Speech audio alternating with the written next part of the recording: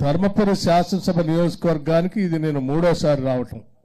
రెండు సార్లు కూడా కాంగ్రెస్ శాసనసభ పక్ష నాయకుడిగా వచ్చాను ఒకసారి పెద్ద ఎత్తున రాష్ట్ర వ్యాప్తంగా రాష్ట్ర రైతాంగం అంతా నష్టపోతా ఉంటే వారికి మద్దతు ధర ఇప్పించాలని ధాన్యం కొనుగోలు కేంద్రాలను వెంటనే ప్రారంభించాలని రైతుల పక్షాన రాష్ట్ర వ్యాప్తంగా తిరుగుతూ ధర్మపురి కూడా రావటం జరిగింది.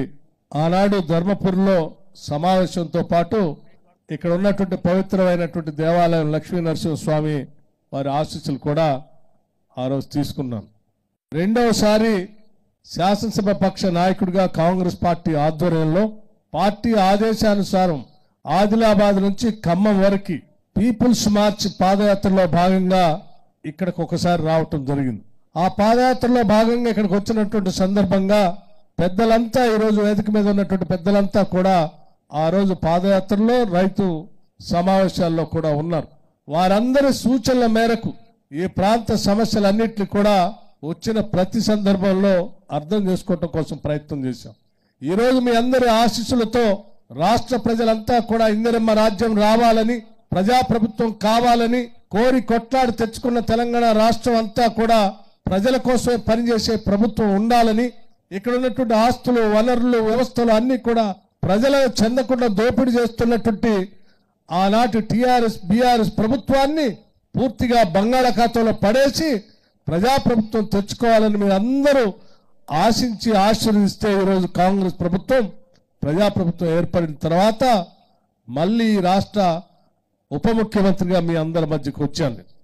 ఈ రాష్ట్ర ప్రభుత్వం రాష్ట్ర ముఖ్యమంత్రి శ్రీ రేవంత్ రెడ్డి గారి నాయకత్వంలో యావత్ మంత్రి మండలి మొత్తం కూడా ఈ రాష్ట్ర ప్రజలు ఏం కోరుకుంటున్నారో ఏం కావాలని అనుకుంటున్నారో వారి లక్ష్యాలనే ఈ రాష్ట్ర ప్రభుత్వం యొక్క ఆశయాలుగా మార్చి ప్రజల ఆకాంక్షలను చట్టాలుగా మార్చి పనిచేస్తున్నటువంటి ప్రభుత్వ ప్రతినిధిగానే ఈరోజు మళ్ళీ మీ అందరి మధ్యకు వచ్చాను నేను. వస్తున్నటువంటి సందర్భంలో ఇక్కడ ఉన్నటువంటి రైతాంగ సోదరులందరికి కూడా కావలసిన విధంగా సబ్స్టేషన్ల ప్రారంభోత్సవం భూమి పూజ కార్యక్రమం చేసుకోవాలి. అది ఈ ప్రాంత ప్రజలకు ఉపయోగపడుతుందని చెప్పి మీ శాసనసభ్యులు రాష్ట్ర ప్రభుత్వం దృష్టికి తీసుకొని వస్తే వాటిని శాంక్షన్ చేసి వెంటనే ఇక్కడికి భూమి పూజ కార్యక్రమానికి రావటం జరిగింది.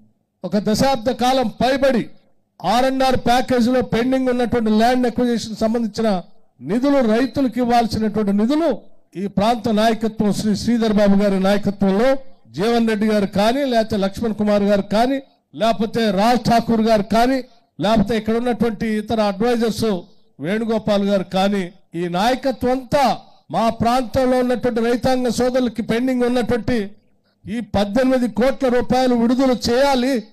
ఇది రైతు ప్రభుత్వం రైతుల కోసం ఆనాటి ప్రభుత్వం ఇబ్బంది పెట్టింది మనం చేయాలని చెప్పి మీరందరూ ఒత్తిడి చేసి ఈరోజు ఈరోజు పద్దెనిమిది కోట్ల రూపాయలు మీ అందరికీ ఈరోజు పంచేటువంటి కార్యక్రమాన్ని చేశారంటే ఈ నాయకత్వం యొక్క ఆలోచనే.